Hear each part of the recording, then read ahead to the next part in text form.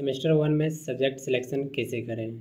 आज उसी के बारे में हम बताएँगे और सीज़न 2023 से 27 के बीच में जो रहेगा उसके बारे में। तो जैसे एग्जांपल हम ले लेते हैं सोशल साइंस सोशल साइंस में क्या होता है कि जैसे आपका ऑनर सब्जेक्ट होता है, वो आपका फिक्स है कि आप जो सिलेक्ट किए हैं वही रहेगा।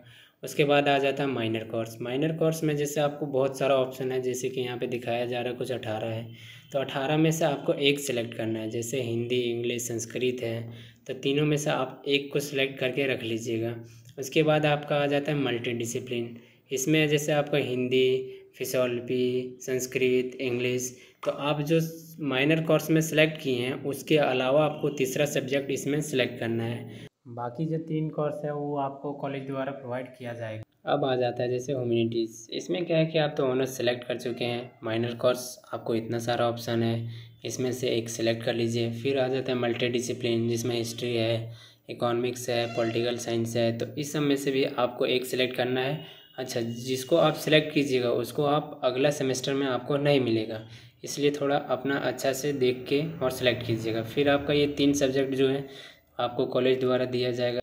अब हो गया नेचुरल साइंस जैसे कि आपका इसमें से एक ना एक सब्जेक्ट सेलेक्ट करके रखे होंगे ऑनर्स जो होता है। उसके बाद आ गया माइनर कोर्स माइनर कोर्स में आपको इतना सारा ऑप्शन दिया जाएगा, जिसमें से आप एक सिलेक्ट कर लीजिएगा। जैसे कि आप जो ऑनर्स रखे हैं, उसके अलावा दूसरा सब्जेक्ट को आप इसमें हम रख सकते हैं। उसके बाद आ जाता है आपका मल्टी डिसिप्लिन उसमें क्या है कि आप ये दोनों में जो सिलेक्ट कर चुके हैं, उसको उसके अलावा जो तीसरा रहेगा, आपको इसमें सेलेक्ट करना है। उसके बाद आपका आ जाएगा? माइनिंग सब्जेक्ट इसमें है जैसे हिंदी या इंग्लिश दोनों में से एक को सिलेक्ट कर लीजिएगा।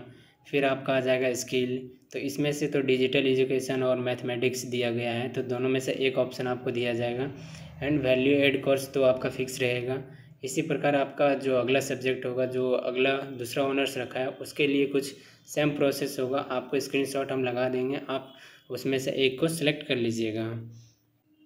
अब है कॉमर्स का। कॉमर्स का जैसे कि वो तो ऑनर्स अपना सेलेक्ट कर लिया है, उसके बाद आपका माइनर कोर्स आ जाता है। माइनर कोर्स में आपको चार ऑप्शन है। चार ऑप्शन में आप एक को सिलेक्ट कर लीजिएगा, उसके बाद जो तीन बचेगा, वो अगला सेमेस्टर में आपको सेलेक्ट करना है।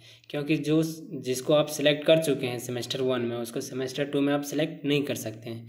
उसके बाद आ जाता है मल्टी डिसिप्लिन इसमें है हिस्ट्री है इकोनॉमिक्स है पॉलिटिकल साइंस है इस सब में से एक को आपको सिलेक्ट करना है। सेम प्रोसेस रहेगा कि सेमेस्टर टू में आप जाइएगा तो उस समय आपका वो सब्जेक्ट इसमें नहीं मिलेगा लिस्ट में। जैसे कि आप हिस्ट्री इसमें सेलेक्ट करके रखे हैं तो आपको सेमेस्टर टू में क्या है कि हिस्ट्री नहीं मिलेगा। उसके अलावा जो सब्जेक्ट है उसको आप सेलेक्ट कर सकते हैं। बाकी तो इधर तीनों सब्जेक्ट सेम है।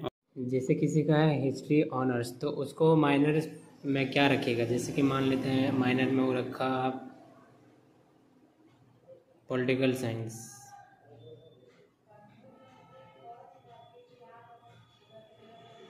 उसके बाद आ जाता है उसका मल्टी डिसिप्लिन उसमें जैसे वो रख लिया हिंदी।